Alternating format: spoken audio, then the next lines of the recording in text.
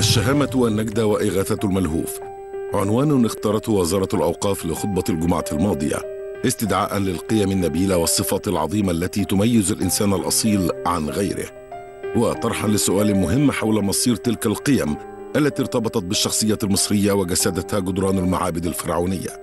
وتكاد تتعرض للطمس نتيجة أمراض الزحام والعشوائية. ولكون منظومة القيم الأخلاقية من أهم أعمدة بناء المجتمعات.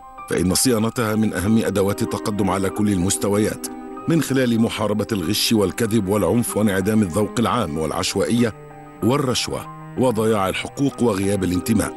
وهي ظواهر توسعت بقوة في الشارع المصري خلال السنوات الأخيرة مما دفع الدولة إلى طرح تشكيل لجنة تنمية الضمير تحت إشراف مجلس علماء وخبراء مصر ورعاية مؤسسة الرئاسة. فهل تنجح أفكار الدولة وقدراتها في إصلاح ما أفسدته الأيام أم أن للمجتمع المدني والنخبة والمؤسسات الإعلامية دور في إعادة القيم المصرية إلى مسارها السليم؟